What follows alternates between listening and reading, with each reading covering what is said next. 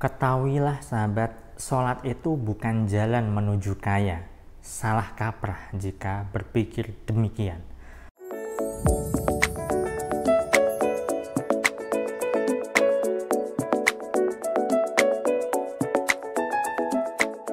Assalamualaikum warahmatullahi wabarakatuh. Jumpa lagi dengan saya, salam dan salam berlimpah.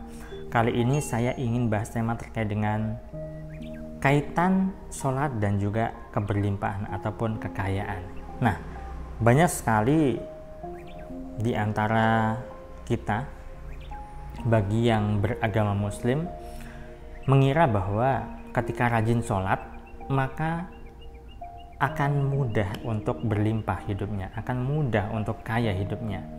Tapi faktanya di lapangan adalah banyak orang-orang yang kaya raya, berlimpah, mereka itu mungkin secara religi nggak rajin-rajin amat sholatnya nggak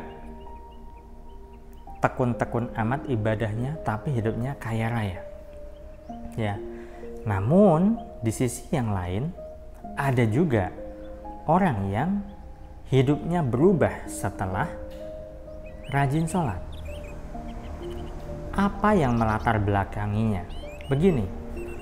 Nah kalau misalnya Anda punya pemahaman bahwa sholat duha itu adalah sholat untuk menarik rezeki, ya boleh-boleh saja. Tetapi sejatinya sholat duha itu bukan berarti untuk menarik rezeki. Kalau misalnya menarik rezeki, atau Anda minta rezeki lewat sholat duha, artinya Anda belum merasa memiliki rezeki. Artinya vibrasi Anda adalah vibrasi force. Ya. Nah, kebanyakan dari kita itu kan sholatnya adalah untuk minta. Ya, sholat memang bagian dari doa. Dan doa itu memang otaknya ibadah. Ad-du'a'u mukhul ibadah, kan begitu.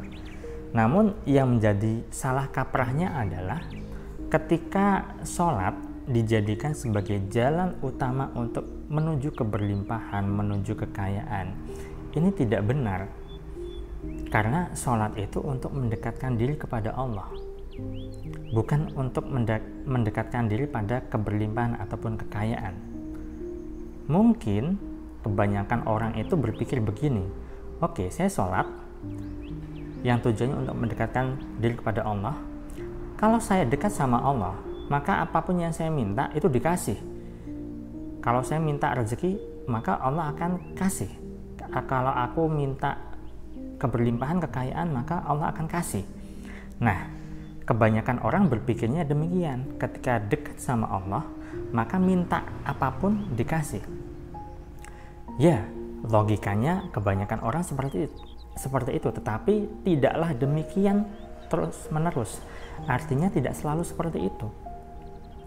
Kalau misalnya sholat dijadikan sebagai wasilah untuk menarik rezeki, maka orang-orang yang rajin sholat pasti kaya, tapi nyatanya kan tidak seperti itu.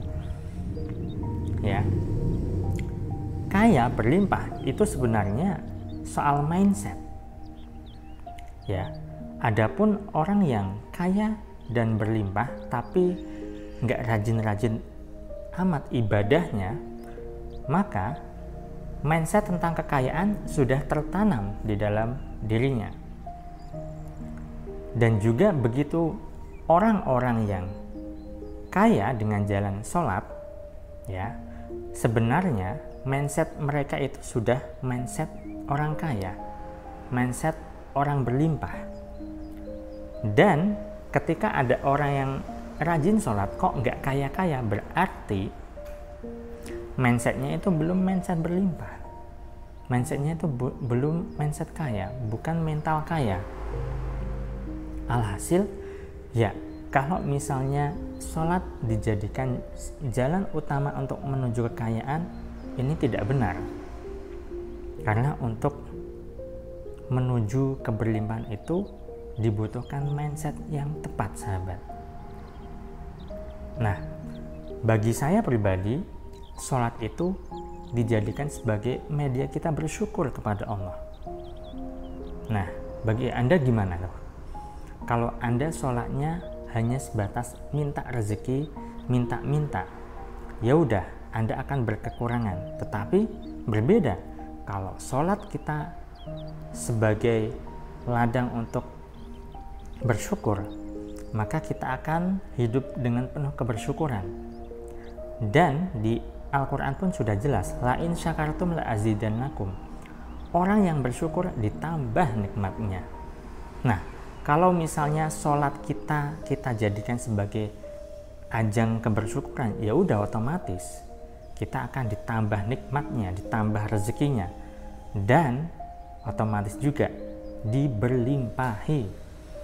Nah, jadi mulai sekarang yuk betulkan dulu niat kita dalam sholat, bukan sholat untuk mencari kekayaan, mencari keberlimpahan, tetapi sholat sebagai media kita bersyukur karena kita sudah mendapatkan berbagai macam kenikmatan yang telah Allah berikan kepada kita. Saat kita benar-benar bisa bersyukur di dalam sholat, maka Allah akan tambah nikmat kita, tambah rezeki kita. Namun bukan berarti, ah saya sholat untuk bersyukur ah agar rezeki saya bertambah. Kalau seperti itu, niatnya bukan bersyukur, tapi niatnya juga minta-minta, ya. Seolah-olah Anda ngakal-ngakali. Jadi, yuk tuluslah dalam bersyukur, tuluslah dalam sholat yang dijadikan sebagai media bersyukur. Saya salam dan salam berlimpah. Assalamualaikum warahmatullahi wabarakatuh.